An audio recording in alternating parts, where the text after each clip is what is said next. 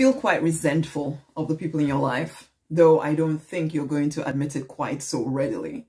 Hey, I'm Rosemary Knight. I am the Prosperity Minister. I support you in regaining your confidence, your self-confidence, in leaving behind the pain, limiting stories, the limiting beliefs of the past, and in rising victorious in your true design life. Honey, you feel a bit resentful of the people in your life if you're truly, completely honest about it. You give and give and give and give and give and give and give. And they take and take and take and take and take. When you need them, they're not necessarily there. You're not that person that even asks for that much help anyway, but you always feel alone. When you need help, it feels as if there's nobody there. You feel resentful that it's like these people are just taking from you. They need you in order to make everything work. And And I know you don't you don't actively think about it this way. But can you be honest with yourself for a second here? Or do you feel way too nasty to even consider the fact that you that that that maybe it's time to start saying no? Start saying no to some of the requests and the demands that people have of you. Start rejigging the way you relate to other people so that you're not always this defender of the world and savior of everyone thing. And I know, and you may not again want to admit this, that it gives you a sense of purpose. It gives you a sense of fulfillment-ish. It's a kind of false one, I have, to admit, if it comes with anger and resentment, honey. Um, it, it gives you this sense of being needed. You love to be needed. You're not sure who you would be if people didn't need you. Can you admit that to yourself yet? And I, I, feel for you because in some ways, some of this just came from childhood, came from the fact that you did have to step up to the plate, possibly even before you were ready to, before you were grown up. You suddenly had to be parent to maybe siblings, maybe uh, cousins. And it was just considered to be the norm. You were the most together one, and maybe you were even the oldest one. And everybody just kind of leaned on you, leaned on you, leaned on you and you and that's and that's how it continues to be to this day. Except you're tired. You're feeling drained. You're feeling angry. You're feeling like you lost your life. Let's put it let's put it that way that your childhood was taken from you that you haven't really lived at all. You've been living life for everybody else and you're getting fed up of it. Except you don't want to say that because how will they survive without you? How how will they cope Except this is the thing. Everybody is powerful in their own right, my love. Everybody is created in the image and likeness of the divine, not just you. They are powerful.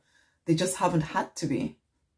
My youngest daughter, it took her it took her a bit longer than the rest to learn how to speak. And why? I even took her to a speech therapist I was getting slightly worried because we talk in my family, right? And I took her to a speech therapist and and and the speech therapist did mention, hey, is it possible that her older two sisters are speaking so much for her that they that she doesn't need to speak? And I realized that it was true. Within six weeks of that meeting with with the with the speech therapist, she started speaking, and we haven't managed to make her stop at all since then. And I wonder if it's like that in your life too, where yeah, ultimately, if you continue to make yourself available to be the support and the savior and the defender of everyone, then they will continue to lean on you to be their savior and their defender and their everything. But guess what? If you stepped away a little bit, if you took time for yourself, they would find a way to survive with or without you. And that might hurt you because a lot of your life is dependent on believing that without you, people will fall apart. But honey, the life you desire, the free, fulfilled, financially abundant, the love-drenched life lived on purpose, where you're having fun, life that you desire will not be found whilst you continually dampen yourself out trying to be everything to everybody except yourself. You need to fall back in love with yourself. You need to put yourself in an environment where you regain your confidence, your, your self-worth, your self-belief because it's all caught up now in being all things to everyone else. It's time to wake up to who you really truly are, my love. And I can help you with that. I can help you with handling the, the resentment and the anger that will possibly even come up more to the surface when you start to love yourself better because you will realize just how much of your time you've given away to people who are quite capable of taking care of themselves. And that may really anger you. But then the anger will be directed within yourself for allowing it to happen. But come and be with me in the incubator. Come and work with me. Let's transition gently to a more love-drenched life. A life where, yes, you are of service to, because I know you're someone who wants to make a difference, no doubt about it. But I'm not sure that you're making a difference to the people you're actually called to right now. You're just making a difference to the ones that happen to be around you and who have gotten used to leaning in on you. I'm not saying that you should never be of assistance to anybody in your world again. No. But I'm saying that you're coming, you're, you're giving from an empty well. It's tiring. It feels draining. You feel resentful because you're doing it from the wrong place. Come into the abundance, not the abundance library, although the abundance library is part of it. Come into the deliberate millionaires incubator.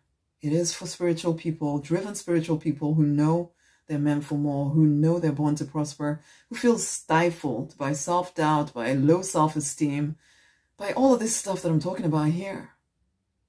It's time for you to prosper wildly, to truly step into true design prosperity for you. And you're not going to do it whilst you continually put everybody else ahead of you all of the time. Come on in. Go over to rosemarynonny forward slash deliberate millionaire. Go join in. Come and be part of our community.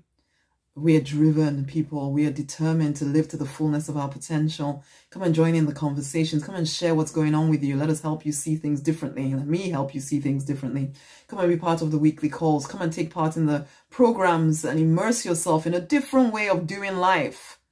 It will change everything for you. You deserve so much more than this, but are you willing to allow yourself to receive it? Come on you could reach so much, so many more people. You can make so much more of a difference when you're living in your true design. Come on in to the Deliberate Millionaires. Okay? See the link around this video. Share this video with somebody else and then come join in. Okay? Much amazing love. It's your time for fortune restoration and for fortune expansion. It's your time. Come on now. Much love share this video, okay? Bye.